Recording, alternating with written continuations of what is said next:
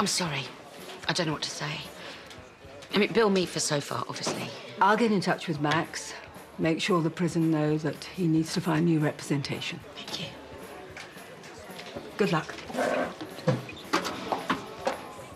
Patronising cow. Abi? Can I uh, go back to work now? Really? But what? My dad's the guy on the news who has sex with a young girl and then kills her. The only luck I can hope for is that I find out I'm adopted. Well, you're probably the only one who can get Max to plead guilty now, Abs. Really? Really? Not every family is like yours, Ben.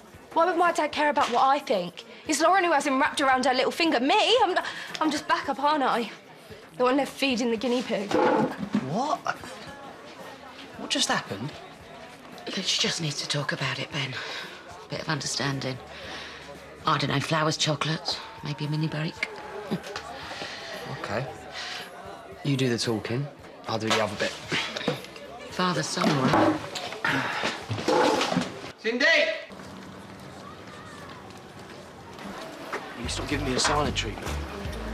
Grandad, I know I grassed you up, but look, I'm not the one that was cheating on the missus.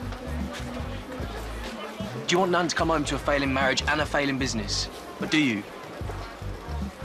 What the hell makes you think my Pam is ever coming back now? You have driven her away.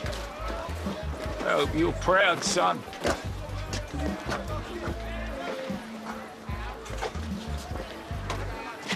Oh, class. Uh, um, I gave you an hour off three hours ago. Uh, no, I know. Uh, very generous. It's not me, it's Grandad. I've not done um, whiskey since Magaluf. no, it's honestly not what it looks like. Do I look like I care? Not really. No, because I don't. You're drinking on the job. I've got no choice. You're sacked.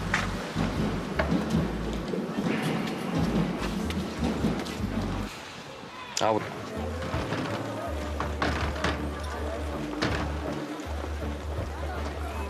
I know you're in there, Grandad.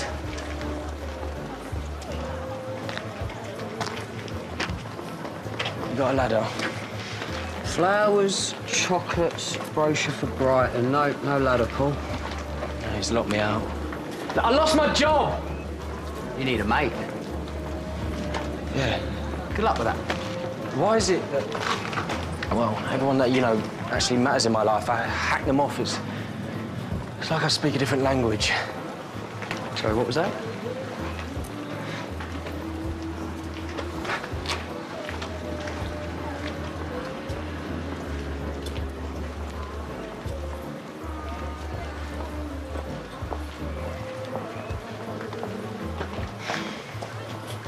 Nan? Uh, Nanny, no, no, no, uh, don't hang up. It's, it's me. Uh, uh, please, um, please come back home. Guys, we're falling apart without you.